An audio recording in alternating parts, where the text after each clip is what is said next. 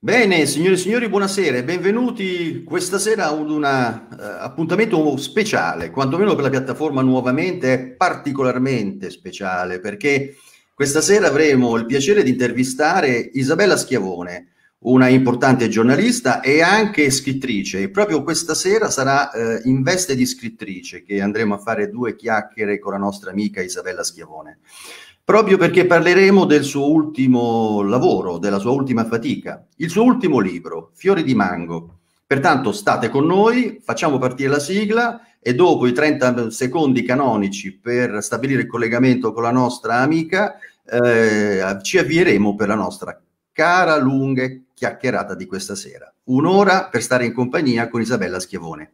A tra poco.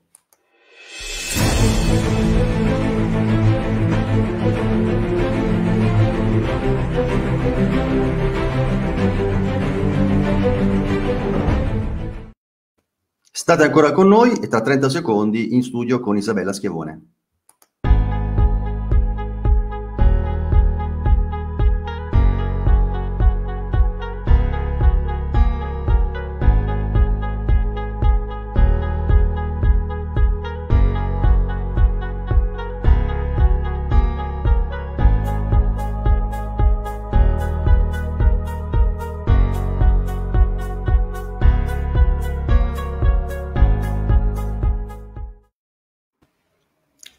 Ciao Isabella, Ciao, buonasera. Buonasera, buonasera a tutti. Poveretti, un'ora insieme a me, mamma mia. Che un'ora insieme, beh, un privilegio Isabella, ma che dici? È bellissimo, anzi, poi sai, per me, al di là della piattaforma, eh, io sono particolarmente contento di vederti perché noi siamo amici da lunga data non siamo qui questa sera in veste di amici, ma siamo qui in veste di professionisti. Però si vede che siamo amici, perché abbiamo messo in pandan la lunatica con il maglione.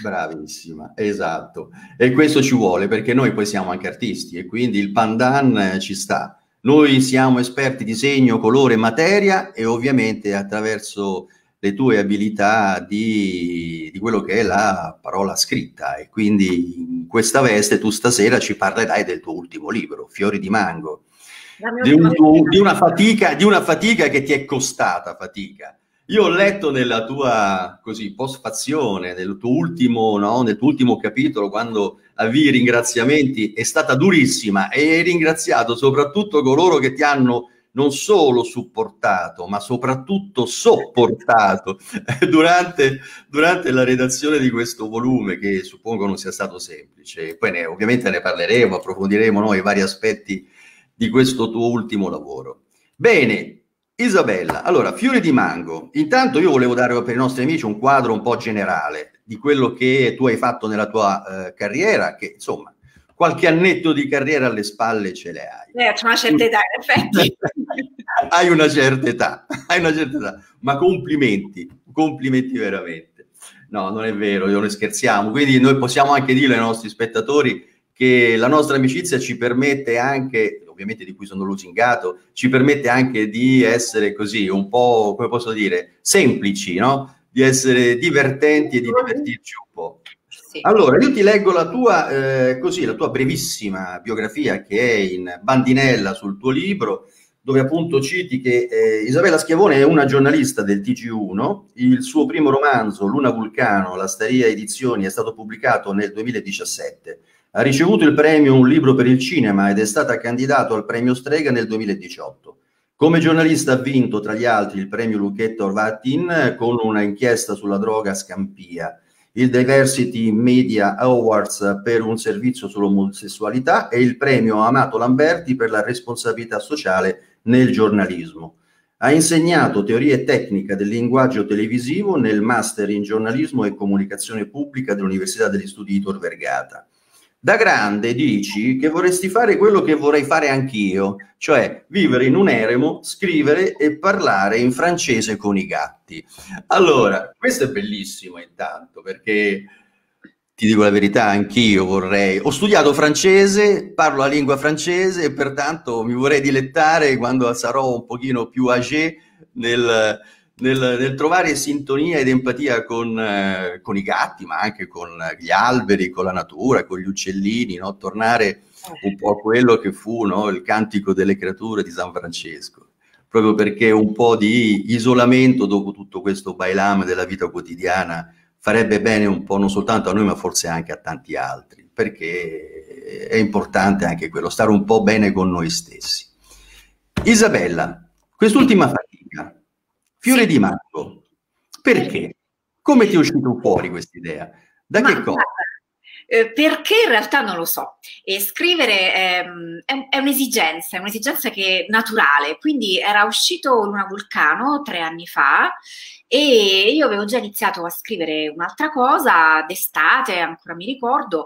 Eh, peraltro, Fiori di Mango è stato scritto in diverse eh, location, un po' a Roma, eh, un po' a Civita di Bagnoregio, nella città che muore, dove sono stata ospite del, del comune in un alloggio meraviglioso, una casa di artisti eh, con vista sui calanchi, dove potevo isolarmi da una parte e concentrarmi nella scrittura e dall'altra potevo essere visibile visibile dall'esterno perché scrivevo in una sala dove c'era una vetrata e tutte le persone, i visitatori, i turisti, eh, potevano guardare appunto l'artista, in quel caso ero io, eh, all'opera ed è stata una bellissima esperienza. E, e, poi è stato scritto anche ad Ischia, dove, dove, ero per un seminario vacanza con il gruppo di Tai Chi Chuan che avevo appena cominciato a frequentare e nella seconda parte della giornata eravamo liberi di fare quello che volevamo e io avevo meraviglioso panorama sui vigneti e quindi scrivevo questo fiore di mango. Quindi in realtà ha preso spunto un po' da diversi anche contesti, quindi c'è un po', ci sono un po' di passeggiate con un gatto con cui avevo fatto amicizia ad Ischia e ci sono insomma anche dei piccoli aneddoti eh, che avevo vissuto personalmente buttati un po' lì come degli indizi, diciamo, eh, in, queste, in queste vacanze.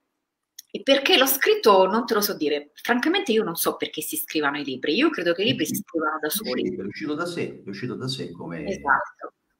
Avevano voglia di uscire fuori questi personaggi e di, e di farsi conoscere, di far parlare un po' eh, di loro e di fare amicizia. Ma io ho letto ovviamente questo libro anche perché eh, leggo le tue cose, quindi vedo i tuoi lavori, ti conosco eh, sotto la parte professionale, so che sei estremamente attenta e estremamente sensibile. Devo dire che la tua caratteristica è anche quella di entrare in empatia con i servizi che fai, come giornalista che si occupa del sociale nella tua redazione del TG1 e, mm, e dove appunto hai avuto anche dei riconoscimenti importanti a livello nazionale. Ma mm, qual è la differenza tra la eh, Isabella scrittrice e la Isabella giornalista? Due pianeti a parte, due persone completamente diverse. Si potrebbe dire che io sia schizofrenica, perché nel, a parte che anche nello, nella mia stessa professione, insomma, un po' in base ai ruoli che ricopri, eh, tiri fuori una parte del tuo carattere della tua personalità.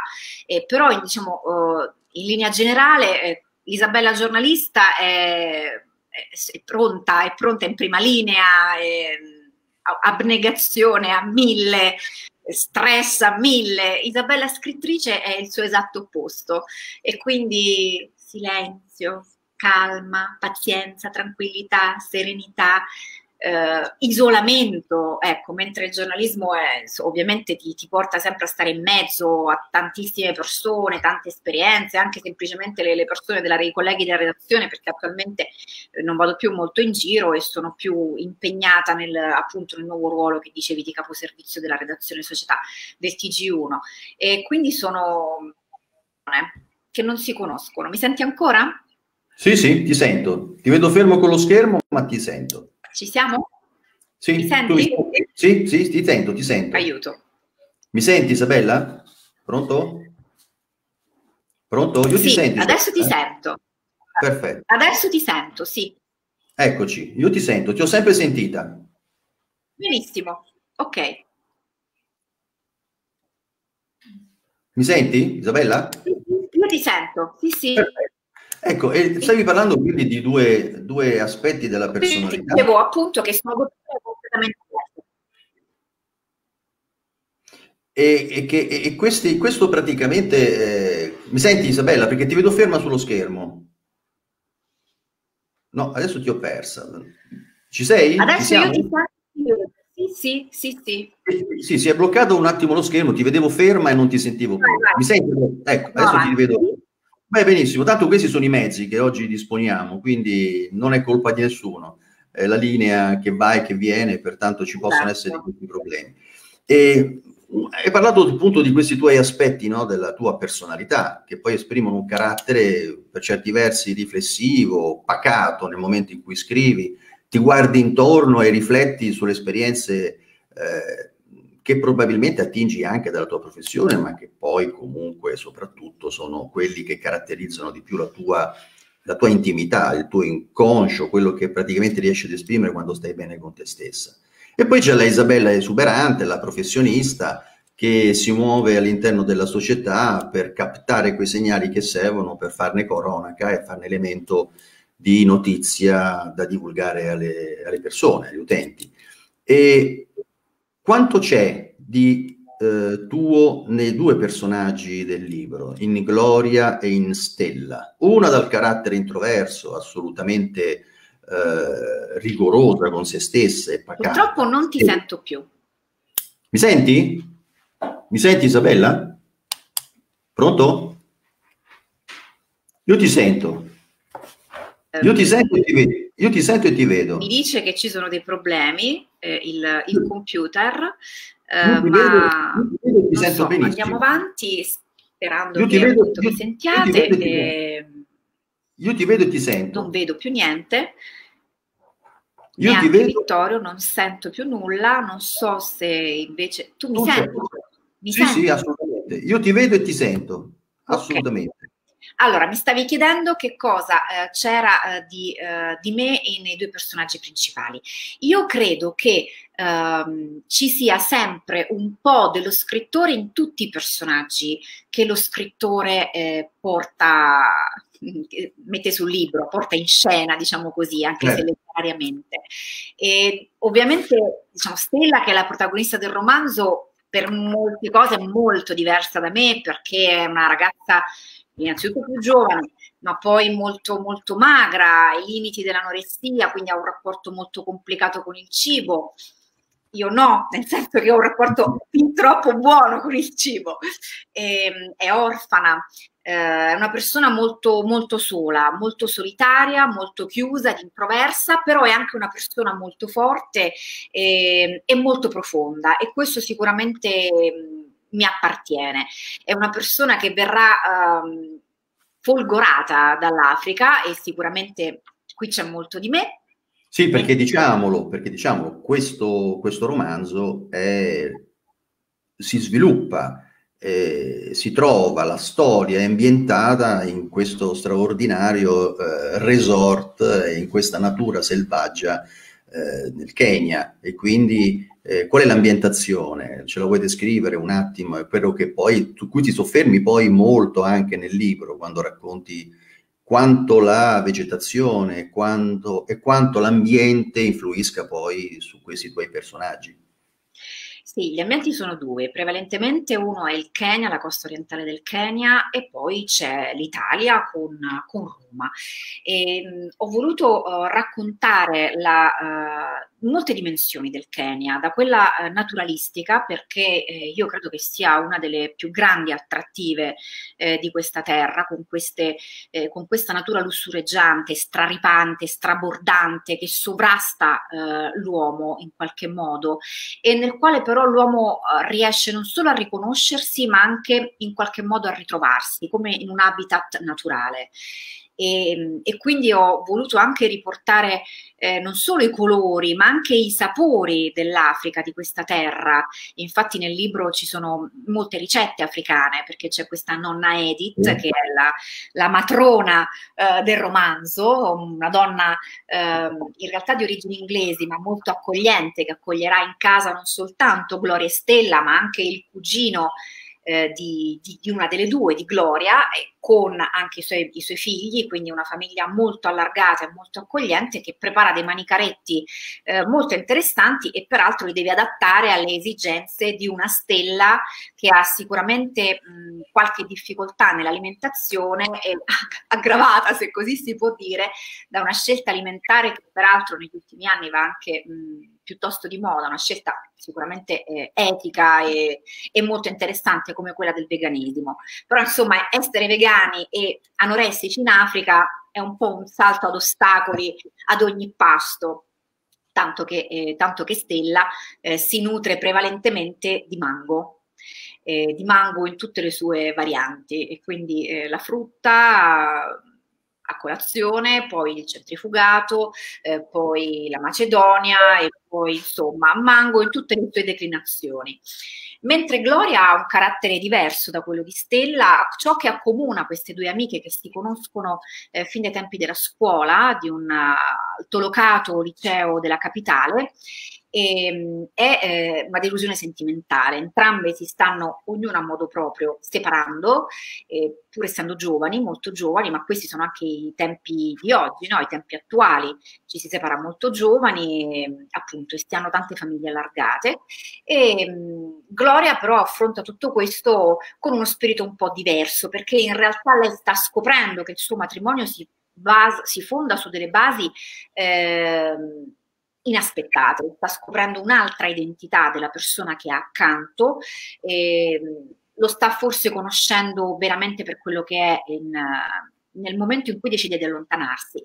E eh, va in Africa perché eh, ha delle radici africane, il papà è africano e in realtà uh, come dire, non è proprio di origine africana ma è cresciuto in Africa e quindi lei decide di andare alla scoperta della sua uh, della sua famiglia d'origine. Questa nonna lei non l'ha mai conosciuta, non l'ha mai incontrata, gli stessi zii, i fratelli del padre, non l'ha mai incontrato eh, perché eh, d'altronde il papà stesso si è allontanato molto giovane, anche dei, dei siti familiari lo hanno tenuto lontano e quindi c'è anche questo, questa ricostruzione della famiglia, è molto centrale la famiglia nel romanzo.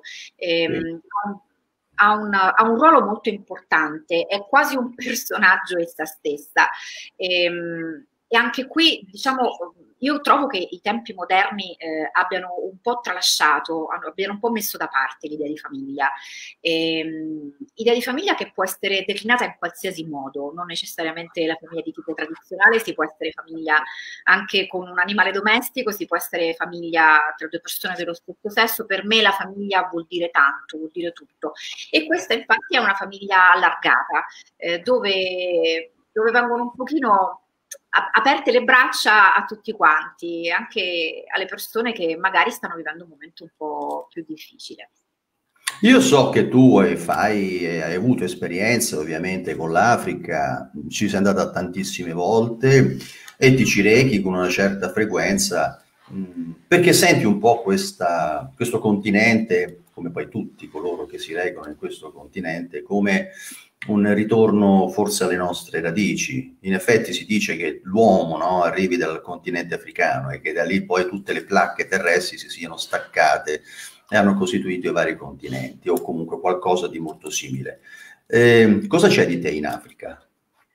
Ma io amo l'Africa per tante ragioni. Eh, sicuramente la principale eh, sono ragioni di tipo affettivo.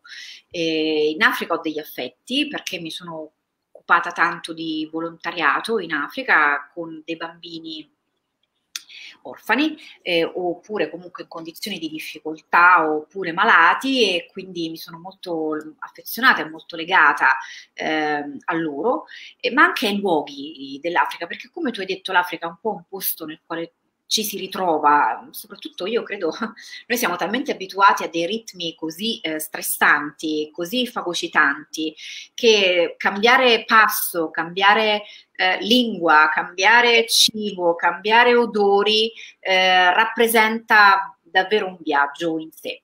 E, e l'Africa è un viaggio nel viaggio, eh, perché ovviamente ci si trova a contatto con una mentalità diversa, con situazioni anche eh, sociali diverse il Kenya è un posto dove spesso mh, ci, si, ci, si, reca per andare in vacanza perché ha dei bellissimi resort, eh, appunto si fanno dei bellissimi safari, però c'è anche un'altra faccia eh, del Kenya che è appunto eh, quella dei villaggi poveri, quella degli orfanotrofi e io sono molto legata a, questo, a quest'altra faccia del Kenya e una parte eh, di, questa, di questa dimensione la racconto anche nel romanzo. Tu che sei giornalista, chiaramente la domanda mi corre d'obbligo, no? Tu che vai spesso in Africa e come hai detto sei, ti senti anche affettivamente coinvolta da rapporti personali che hai stabilito giù in Africa. Quando parli anche nel libro stesso no, di questi aspetti di codici condivisi acquisiti dalla cultura di massa, è chiaro che sono estremamente diversi, siamo forse agli antipodi tra il continente africano e il continente europeo tu dove ti senti? Come ti senti più vicino? A cosa ti senti più vicino? A quei codici oppure ai codici nostri? Mi piace scoprire un po' Isabella, non soltanto scrittrice, ma anche intima. Diciamo, la verità è che io ho un'anarchia interiore, Vittorio, e quindi mh, mm, mi sento libera ovunque. Certo, noto, osservo eh, quello che ci circonda. Quindi, sai, ci sono dei momenti in cui vanno di moda dei vocaboli e tutti utilizziamo quei vocaboli. Eh, per esempio in questo momento tra i giornalisti va molto di moda il vocabolo declinare. Eh, io lo sento, lo sento, continuamente questo declinare, ogni volta che vorrei dire declinare ci penso e dico no, adesso non lo devo dire, declinare. Una volta, perché... una volta ti ricordi contaminazione, no? Contaminazione, tutti, eravamo tutti contaminati. C'è un bellissimo, un bellissimo, una bellissima commedia eh, come un gatto in tangenziale che io vedo come un mantra perché mi fa tanto, ma tanto ridere, dove Paola Cortellesi parla di questa contaminazione meglio di come potrebbe farlo chiunque al mm. mondo, con una, una spontaneità e una semplicità mm. meravigliosa. Comunque, e, ovviamente, sai, le mode esistono non soltanto in Occidente, esistono dappertutto, esistono non solo in Europa, eh, quindi magari lì i codici sono, sono, altri e quindi essendo una società differente che non vivo quotidianamente, eh, posso anche coglierli di meno, probabilmente se mh, ci passassi più tempo, se ci trascorressi più tempo, riuscirei a captarli, a captarli meglio. Eh, però insomma lì c'è più che altro magari l'ostentazione del, del bene materiale, quindi non so, il possesso di, della televisione anche per una famiglia che, che vive in un villaggio, per esempio, magari proprio in un villaggio con le capanne di fango, no, però in un villaggio medio, ecco già lo status symbol del televisore è una cosa importante. Io in realtà mi sento bene dappertutto, sono sincera, perché credo che io credo che se uno sta bene con se stesso, poi alla fine sta bene un po' dappertutto. E quindi mi diverto ad osservare ad osservare, a volte con spirito critico, a volte con spirito um, ironico, a volte semplicemente con spirito, eh, mi guardo intorno, osservo gli altri, osservo anche me stessa, perché poi è divertente anche osservare se stessi, eh, quando, certo, certo, diciamo prima. Esatto, uscire fuori da se stessi e guardarsi e dirsi ma come, come reagisco in quella situazione, come rispondo a quell'altra situazione e, e può essere divertente, può essere un gioco divertente. Eh, Isabella, con una giornalista che fa televisione, lo fa, eh, lo fa veramente ad altissimo livello come lo fai tu, eh, Stella non guardava la televisione, a Stella piaceva leggere, a Stella piaceva, piace la scrittura, quindi questa parte intima di Stella. Le descritte le descrivi molto bene, eh? devo dire veramente con grande, con grande capacità di, profondi, di, di, far arrivare veramente le sensazioni che uno che uno eh, vive nel momento in cui si ritrova in un ideale qualche volta nostalgico di sofferenza e altre volte invece di grande eh, empatia con tutto ciò che lo circonda. E, idealizzando entrambi gli stati d'animo, sia quelli in negativo, chiamiamoli così per intenderci, che quelli in positivo. Eh, questa, questa persona che praticamente scrive e legge, ascolta musica e non guarda la televisione io la Cosa adoro. Ma eh, sai Vittorio, io credo che la lettura, l'ascolto della musica, la, la, l'arte in generale che tu conosci bene sia un viaggio essa stessa. E, ehm, a me capita di tornare a casa con l'ansia di riaprire il libro che sto leggendo e catapultarmi in, una, in un'altra epoca in remota, in qualche secolo addietro, eh, materializzando i personaggi e, e, empatizzando con i personaggi eh, che sto scoprendo, conoscendo. Immergersi nella lettura, come immergersi nell'arte in generale. Eh, è un viaggio parallelo rispetto, rispetto alla realtà e, e quindi Stella si, si, nutre di questo non perché non sia interessata a ciò che la circonda, perché naturalmente è a conoscenza di quello che accade nel mondo, è informata. Però, eh, come dire, una volta che ha avuto le notizie di ciò che è accaduto nel mondo, una volta al giorno, si accontenta, è sufficiente e preferisce eh, trascorrere il tempo in maniera diversa, mh, mm, piuttosto che trascorrere una serata davanti alla televisione, preferisce trascorrere una serata con, con un libro oppure scrivendo. E Lorenzo, parliamo un po' di Lorenzo, perché Lorenzo è un personaggio che anche lui fa parte del mondo dello spettacolo, del giornalismo e della televisione. E quindi anche qui vediamo un'altra figura che un po' si avvicina a, diciamo, a quel circuito nel quale tu passi buona parte del tuo quotidiano. È una persona che per certi versi lo descrivi e lo dici molto bene, una maschera, lui veste una maschera, è un personaggio che si scopre poi cammin facendo intimo, profondo, non soltanto superficialità ed esteriorità, ma diversamente rispetto alla maschera che veste. Quanto c'è nella società oggi di questa maschera che tutti noi per certi versi forse siamo anche un po' obbligati a vestire e quanto c'è invece in profondo, profonda ricerca intima che tu hai sviluppato su questo personaggio? Ma io credo che ci sia moltissimo, Vittorio, di queste maschere. A volte non ne siamo neanche consapevoli, eh, perché assorbiamo talmente tanto dei modelli eh, culturali, sociali, eh, nel quotidiano che non ci rendiamo neanche conto eh, a chi vogliamo assomigliare, che cosa facciamo per assomigliare a quel prototipo, a quello stereotipo, a quel modello. Lorenzo, eh, Lorenzo e Stella sono lo yin e lo yang, è esattamente l'opposto di Stella. Lui vive ammiccando davanti alla telecamera, poi lui è un giornalista televisivo, in questo caso, nel suo caso, essendo un conduttore di un programma sportivo, eh, il confine tra giornalismo e spettacolo, come tu hai detto prima, è molto labile. E quindi c'è una, la parte esteriore di sé che lui porta avanti continuamente, ma anche perché gli è stato insegnato a fare così, lui è un po' figlio della cultura degli anni Ottanta, che è una cultura molto, molto basata sulla, sull'apparire e, e, soprattutto anche di un certo tipo di televisione che si cominciava a sviluppare proprio in quegli anni. E, ehm, e quindi Lorenzo sembra inizialmente un personaggio innamorato di se stesso, un narciso totale, poi in realtà svela un animo anche lui profondo, anche lui eh, con delle cicatrici che lo riportano al passato, eh, delle sofferenze attuali, anche qui abbiamo un matrimonio che si sta sgretolando completamente, comunque eh. è brillante, è in carriera, ha successo, la moglie ugualmente, una bella donna, hanno dei figli, sembrava una famiglia perfetta, la, la classica e cosiddetta famiglia del mulino bianco, che in realtà così perfetta eh, non è.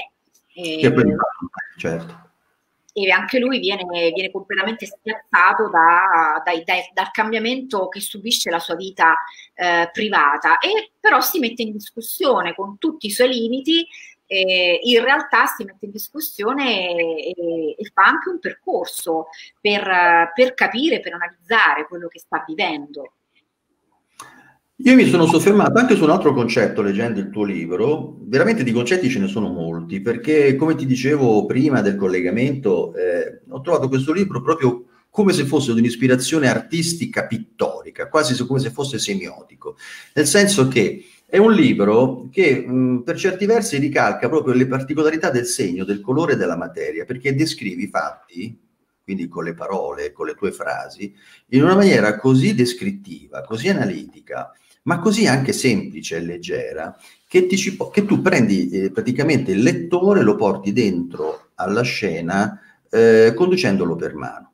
E questo è veramente molto bello, è una dote che ti, che ti, riconosco io, ma non solo io, ovviamente anche i premi che hai ricevuto e anche le eh, nomination che ha ricevuto nelle vari concorsi importanti nazionali eh, ti conferiscono queste peculiarità. E a pagina 34 io mi ero fatto una notazione. E Gloria non soppesava la vita. Giorno per giorno lei non eh, pensava a quello che facesse giorno per giorno, ma la proiettava sempre verso il futuro. E quindi eh, questa frase, ovviamente contestualizzata all'interno di una narrazione più specifica e quindi ad un fatto che tu descrivi analiticamente nel capitolo, io l'ho un po' estrapolata come se fosse no, un piccolo cameo su cui riflettere. No? Vale la pena vivere senza condurre la quotidianità con pesantezza, con attenzione spasmodica ai fatti del giorno e pensare al futuro? oppure costruirlo giorno per giorno attraverso le nostre esperienze, eh, dedicandosi anche all'intimo, alla profondità di noi stessi, per cercare di dare sempre il meglio di noi. È chiaro che la domanda dovrebbe essere scontata, la soluzione B, però quanto noi riusciamo a liberarci dai condizionamenti quotidiani per essere poi liberi ed esprimere meglio quello che siamo poi nel profondo noi stessi? Io credo che la saggezza ci insegni che vivere nel qui ed ora e costruirsi nel qui ed ora, oltre che goderlo, sia la strada maestra. Quanto poi questo sia effettivamente realizzabile, non lo so, perché molti di noi eh, vivono nel passato e molti di noi invece al contrario vivono appunto come il personaggio Gloria nel, proiettandosi nel futuro. Eh, in realtà dovremmo vivere il presente e dovremmo essere presenti al presente.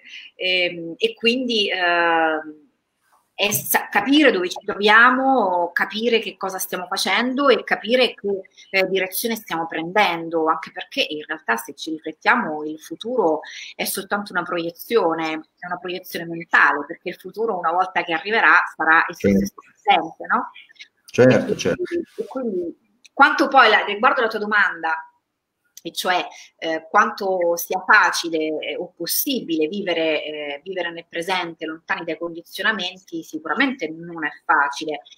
Però in realtà io credo che questa pandemia ci sta insegnando tanto da questo punto di vista, perché siamo talmente tanto costretti nel nostro isolamento, comunque costretti nei nostri movimenti, eh, nella nostra di fatto libertà, gioco forza, che ci obbliga a stare nel presente, perché non si possono fare progetti, non possiamo pianificare neppure un weekend e quindi molto spesso trascorriamo tanto tempo noi stessi senza fare niente di particolare. E io credo che questo in realtà sia un tempo prezioso perché troppo spesso e non ce ne rendiamo neanche conto riempiamo il nostro tempo di tante cose per non sentirci, per non ascoltarci eh, per non capire che cosa ci sta accadendo, dove stiamo andando, che cosa desideriamo, quali sono i nostri bisogni, i bisogni di chi abbiamo accanto.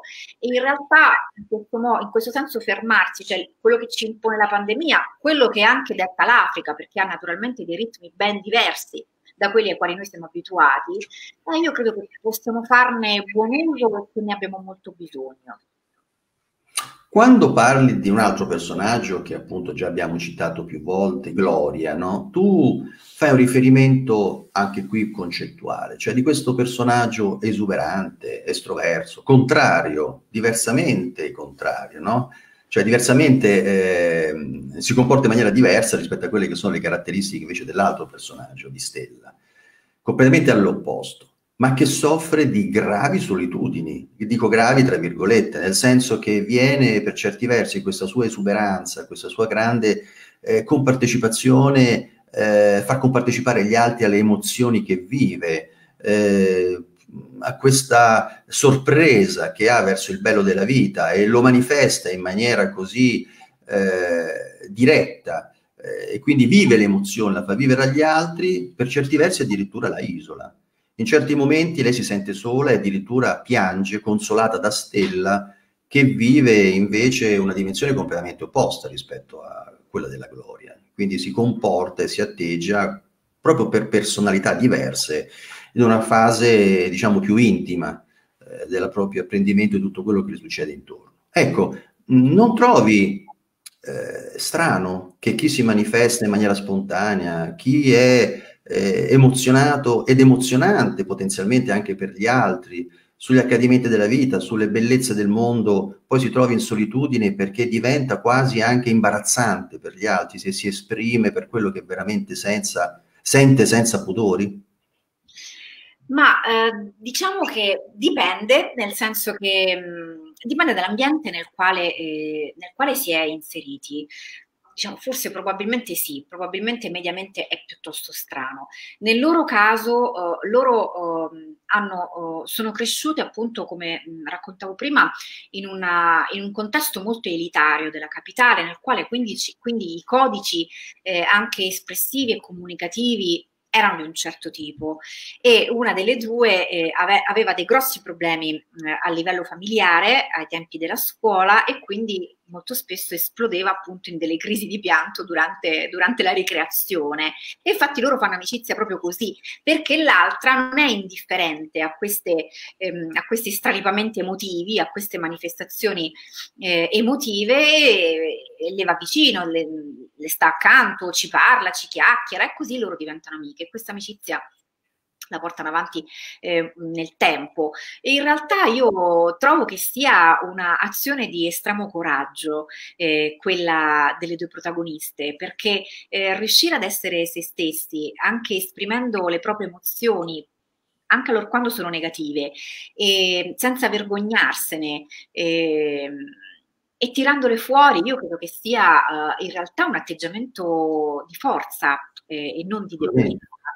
E, ehm, per quanto riguarda uh, la solitudine, ehm, diciamo che Stella si crogiola un po' in realtà nella sua solitudine, diciamola tutta, perché a lei mancano i genitori, che purtroppo ha perduto, ma in realtà le piace star da sola, eh, le mancano gli affetti importanti, ecco, quello sicuramente, eh, però è anche, anche, altezzosa, è anche snob, ehm, è anche, insomma, un po' di puzza sotto al naso ce l'ha, diciamolo.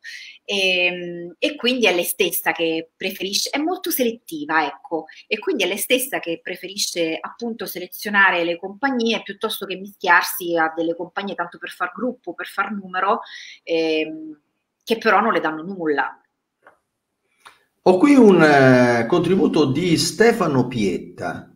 Ciao Stefano, eh, che ti fa questa domanda? È possibile fare una domanda a Isabella? Certamente, chiunque volesse lo può fare in diretta senza alcun problema, sulla sezione commenti della piattaforma nuovamente. Se, se tu, Isabella, dovessi definire il tuo libro con un colore, che colore sarebbe e perché? E ti ringrazio. Ciao Stefano, innanzitutto. E, ehm, dunque, che bella domanda. Eh, sarebbero tanti colori. Il primo che mi è venuto in mente, francamente, è il blu, il colore del cielo. Eh, però in realtà i colori sono tanti. C'è il giallo, che è il colore del sole, eh, un po' un arcobaleno di colori, ecco. Poi ci sono anche dei colori cupi in questo libro, quindi eh, ci sono molte varianti di colori. Sicuramente è un libro colorato, ecco, questo è vero. Eh, è un libro anche saporito e colorato. È un libro fauve, quindi sei un po' sei il Gauguin della, della scrittura. Beh, no, non a caso la copertina, ecco, è quella che è. Eccola qua, eccola qui, eccola. Ma magari fossi il Gauguin della scrittura, mi piacerebbe. E quindi proprio per questo noi facciamo vedere anche, ecco qui il libro Fiore di Mango di Isabella Schiavone, la Staria Edizioni. E Isabella, Solzhenitsyn diceva che gli unici sostituti di un'esperienza che non abbiamo mai vissuto è la letteratura e l'arte. Quanto c'è di vero in questa sua citazione. Total, 100%, 100%. La letteratura ci dà la possibilità di vivere tutto ciò che non abbiamo vissuto, tutto ciò che avremmo voluto vivere, è uno sliding doors. Se, se, non avessi fatto quello, avessi fatto quell'altro, oggi la mia vita cosa sarebbe? Ecco, e sicuramente ci sarà un personaggio che descrive la vita che sarebbe potuta essere, eh, oppure ce ne sono anche dieci di personaggi che descrivono questo. La letteratura è, mille infinite possibilità uh, di, di, di, vite diverse da vivere. Ti faccio una domanda che avevo fatto anche ad un'altra scrittrice che ha presentato un libro drammatico ma che l'ha toccato con grande leggerezza. Ehm, il manuale del femicidio, l'abbiamo presentata Tatiana, eh, Natascia Ronchetti, l'ho presentata all'inizio di questo mese, del, mese scorso, anzi, pardon, del mese di dicembre, e gli dissi, no, eh, si posi proprio questa domanda, la letteratura è una difesa contro le offese della vita, secondo te? Che belle parole, Vittorio. Si vede proprio che sei un uomo eh, che, che non lavora, è mia, eh? è di, è di Cesare Ma cogli comunque delle, delle, sfumature in ogni cosa. Sì, lo è assolutamente. La, ogni, la letteratura nobilita eh, nobilita tutto, nobilita la persona che ne fruisce, nobilita la persona che la compone, eh, nobilita le, le, persone che ascoltano parlare di lei, ma questa è un po' la funzione dell'arte, no? Uh, in generale. E io credo che ce ne sia tanto bisogno. Eh, anzi, complimenti a voi per questa bella pagina che si occupa di, di, di tante cose interessanti, di tanti argomenti interessanti. Abbiamo bisogno di essere stimolati, di, essere, di riflettere, eh, di, di, evadere eh, e di creare. Eh, alla fine la creazione mentale, culturale, eh, è quella che ci porterà a, appunto a, ad un mondo diverso, nuovo, speriamo migliore.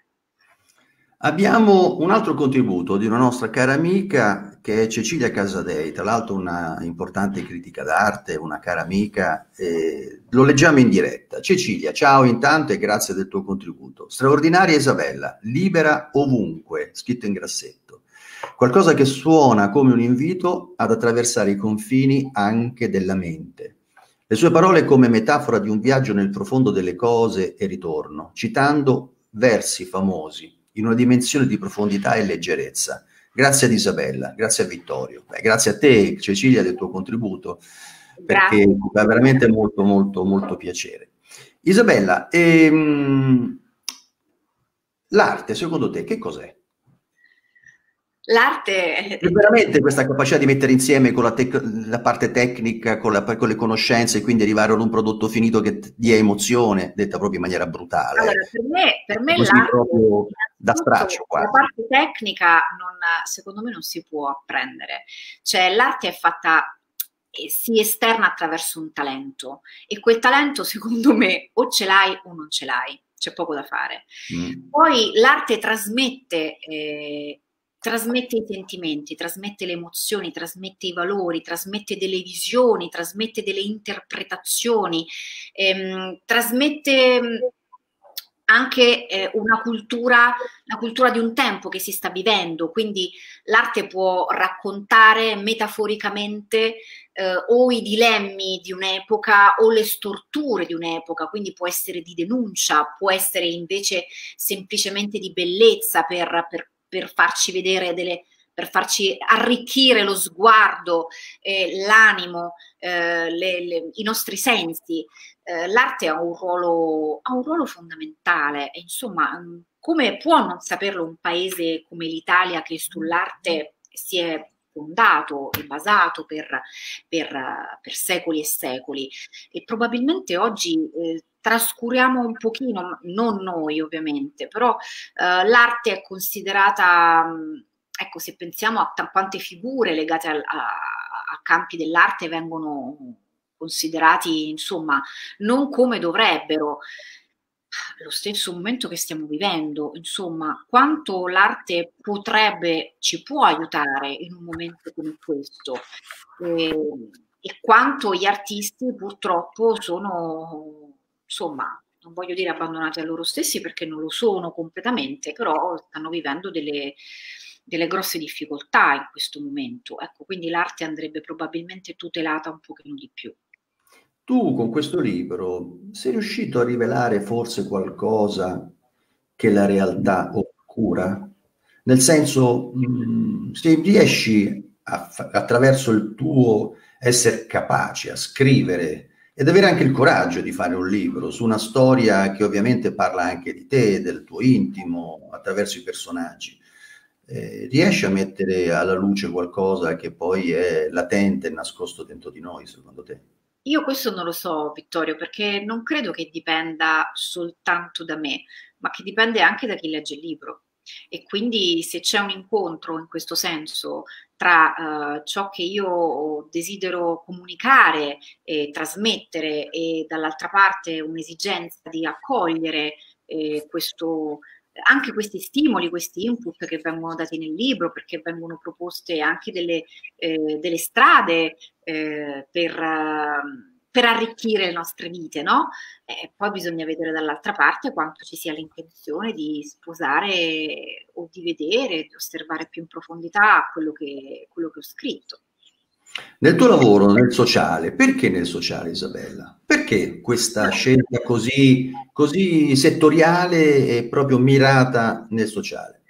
Allora, io non mi sono sempre occupata di sociale. Eh, all'inizio della, della, mia, della, mia, carriera ho, mi sono occupata molto di inchieste. Sì, c'era molto sociale anche lì, però non era eh, esclusivamente quello, mi sono occupata molto di cronaca, eh, di attualità e di ambiente. Negli ultimi anni eh, ho deciso di mh, occuparmi in maniera prevalente di temi eh, che sentivo urgenti, eh, di persone che vedevo sottorappresentate e, e quindi mh, mi sono ho voluto attraverso il mio lavoro rendermi minimamente portavoce eh, di queste esigenze, di queste realtà, eh, delle quali secondo me tutta la comunità dovrebbe farsi carico e non soltanto la, la famiglia, il nucleo che, che vive eh, quel tipo di difficoltà. Penso per esempio appunto alla disabilità, eh, sono stata molto vicino a tante persone che hanno avuto tanti problemi e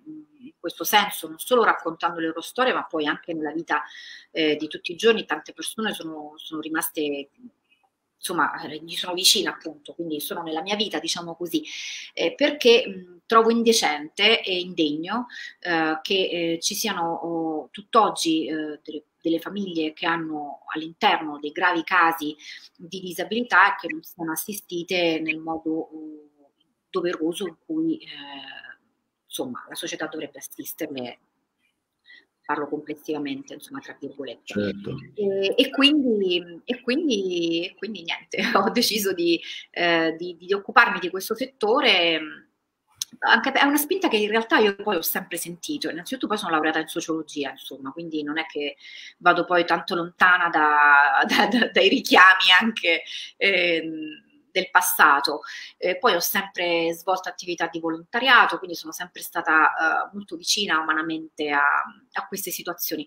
Poi devo dire, Vittorio, perché non è che voglio passare come la buona samaritana, io non sono assolutamente una buona samaritana, sono una persona normalissima eh, come tante. Eh, però io trovo che ci siano tanti stimoli e tante cose interessanti da imparare eh, dalle, anche dalle, dalle persone con disabilità, da persone che parlano in qualche modo è come parlare un'altra lingua, no? ehm, per tanti versi, poi insomma dipende anche da che tipo di disabilità eh, parliamo. Mi ricordo un servizio su delle persone adulte eh, malate di SLA che eh, scrivono un giornalino molto molto interessante, molto bello, con, con lo sguardo ovviamente attraverso eh, una tecnologia molto avanzata e eh, comunicando con queste persone, per esempio, io ho imparato tantissimo, una profondità, queste persone avevano uno sguardo su tutti quelli che li circondavano, potevano fare gli psicoterapeuti, perché si rendevano conto di tante cose che, che magari noi, presi da appunto questo stress, questo vortice nel quale siamo coinvolti quotidianamente, non, non facciamo caso. E infatti gli articoli scritti da queste persone sono stati di grande interesse e dei grandi spunti di riflessione per me. Bello, bello. Complimenti Isabella, complimenti. Ascolta, ci sono arrivati tanti messaggi che io però vorrei così adesso velocemente così andare a scorrere perché sono tanti di saluto e quindi è giusto eh, contraccambiare. Esatto. Anche perché Isabella siamo arrivati quasi agli sgoccioli, sono 48 sì, minuti e secondi, è volatissima veramente eh, questa, nostra, questa nostra oretta di intervista. Allora, Simone che ci saluta, ciao Simone, grazie. Simone Caligola, fa parte della piattaforma e ci segue, grazie, ciao Simone. Abbiamo anche Francesco Schiavo, un altro artista bravissimo che un giorno ti farò conoscere, questo signore è veramente capacissimo. E un giorno anche con lui faremo una diretta, quindi lo conoscerai in quella circostanza. Ciao Francesco e grazie tante della tua, della tua partecipazione. Salutiamo anche Pierpaolo Sant'Agata, un personaggio che di cultura ne mastica, lo conosco personalmente e grazie molte del tuo contributo, della tua presenza e dei tuoi saluti. Ciao e a presto. Poi vedo Michele Guandalini. Ciao Michele, grande psicoterapeuta, psicologo. Ciao, ciao Michele, che tu conosci. Andiamo avanti. Eh, Sergio Di Stefano. Ciao Vittorio da Di Stefano della Sicilia. Ciao, ciao Sergio, ciao. Marco Marinelli, Marco Marinelli, buonasera a tutti, grande Vittorio, ok, grazie, io non, non sono nessuno. Eh, Lucia, ciao Lucia, ciao, Vittorio, ciao, Lucia. ciao. Eh, aspetta un attimo, scorriamo ancora, abbiamo Alessandra Ceccoli, ciao Alessandra, buonasera, ciao anche a te. Eccola, guarda chi c'è, la ah, nostra Anna. Anna, hai visto, anche questa sera ti ho onorato. La nostra Vanna, bellissima Vanna, ciao, carissima artista, materica. E tu a proposito, Isabella, ti senti più informale o figurativa? Ma più figurativa probabilmente. Eh, adesso. Eh, sì. La, adesso è più figurativa, forse prima un po' informale lo eri, o no? Sì, sì, sì. Graziella Cremonini. Ciao Graziella. Ciao Graziella. Flavia, ciao Flavia. Ciao, Isabella Carissima, ciao. Rosalba Di Lascio. Ciao Rosalba, grazie. Santa Dasero, ciao Santa, grazie del tuo collegamento. Buonasera a te. Lucrezia Zancanaro, lei è un'autrice della nostra piattaforma, la salutiamo caramente, è un personaggio veramente particolare, bravissima, scrive, scrive delle cose molto molto molto profonde, molto intelligenti. Ciao Lucrezia, grazie. Stefano Pietta che ci saluta e prima grazie, grazie del tuo intervento e del tuo contributo. Tiziana Gualandi, eccola qua, un'artista anche lei. Ciao Tiziana. E vediamo ancora la nostra Vanna. Bravissimo Vittorio, eh, grazie Vanna. Non, se, se, lo sapevo non lo, non, lo, non lo facevo vedere. allora, Claudia Malaguti, ciao Claudia. E Stefano, Stefano Pietta, il contributo di prima l'abbiamo già letto, ancora scorriamo con Erika Spinola, complimenti bravissimo Vittorio, grazie Erika, e ancora avanti Stefano di nuovo, grazie mille davvero.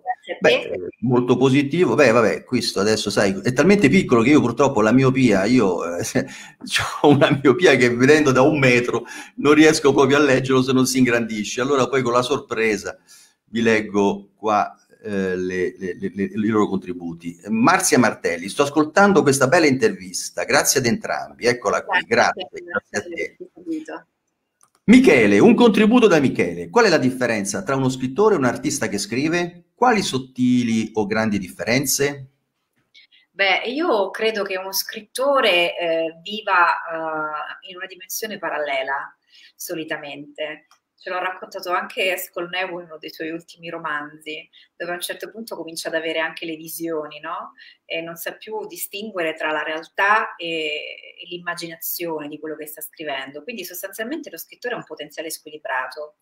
E, mentre eh, un artista che scrive, allora, diciamo, non sono un artista, quindi magari faccio più difficoltà a comprenderlo, però credo che un artista che scrive mh, semplicemente mh, eh, in questo caso utilizzo questo bel termine che ci piace tanto, declini, eh, una, delle sue, una delle sue capacità, una delle sue arti anche in forma scritta, quindi in realtà ci fa vedere un'altra dimensione della propria arte, la completa in qualche modo, eh, la integra e quindi penso che possa essere molto interessante leggere lo scritto di un artista.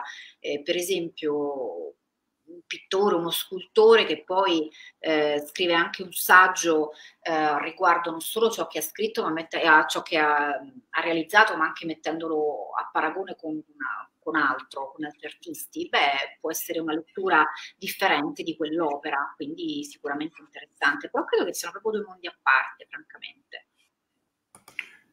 Abbiamo Stefano Pietta che ancora ti fa i complimenti per esserti orientata sul sociale. Grazie Stefano. La Vanna che ci dice che siamo molto coinvolgenti. Grazie Vanna, grazie ancora. Stefano Pietta che ci rilancia che è una grande riflessione quella che tu hai appena citato. E l'ultimo ancora Flavia, sei davvero bella.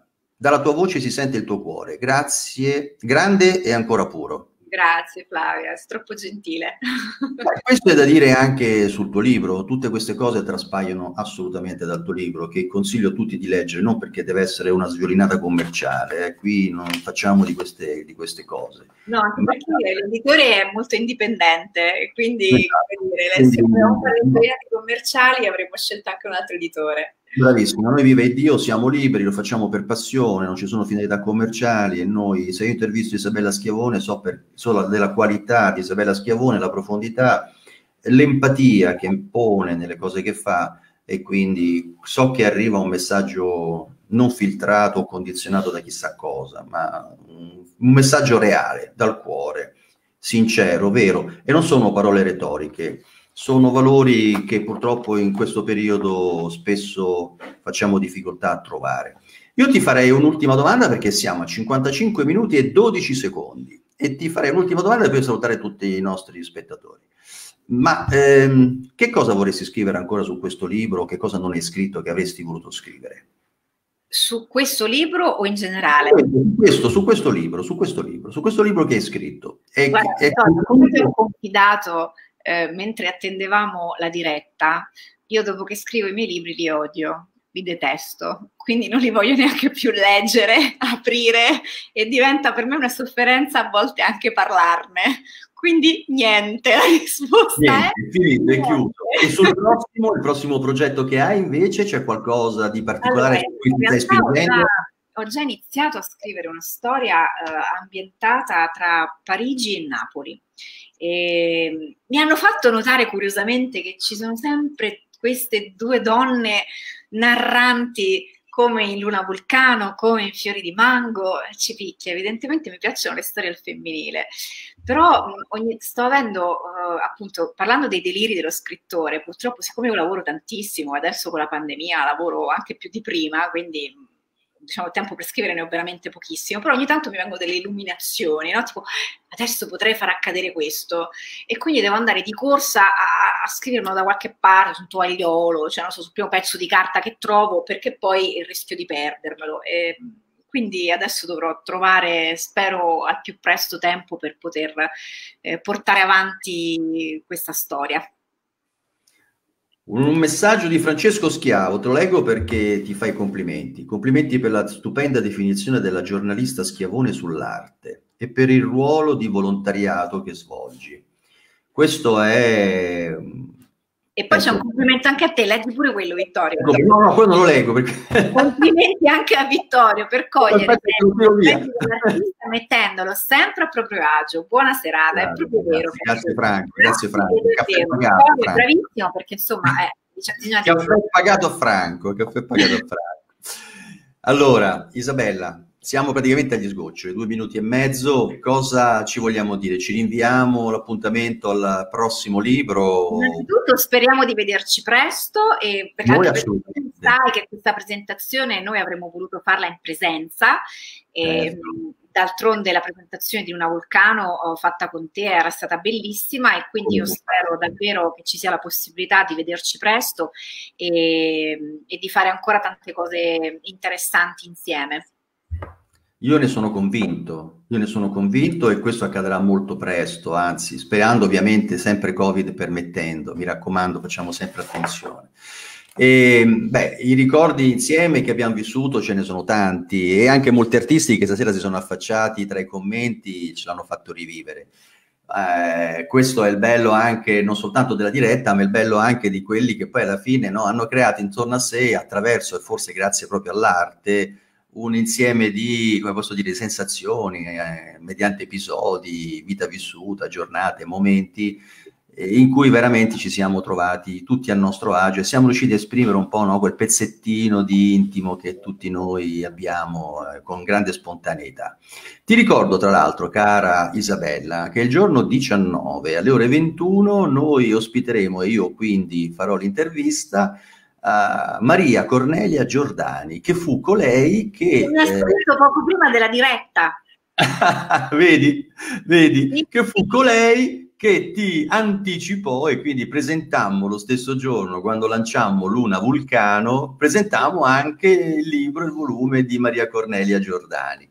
E quindi vedi, questa volta parti inverse, tu qualche giorno prima, poi toccherà a lei. E pertanto, e pertanto rilancio ovviamente l'appuntamento a tutti coloro che ci stanno ascoltando per la serata del 19, quando intervisterò eh, Maria Cornelia Giordani sul suo volume, sul suo libro, ma soprattutto... Tra l'altro lei è bravissima, interessantissima, un personaggio curioso, quindi io ci sarò sicuramente. Che parla di natura e dell'energia della natura, come estrapolare l'energia dalle piante senza alcuna invasione per le piante.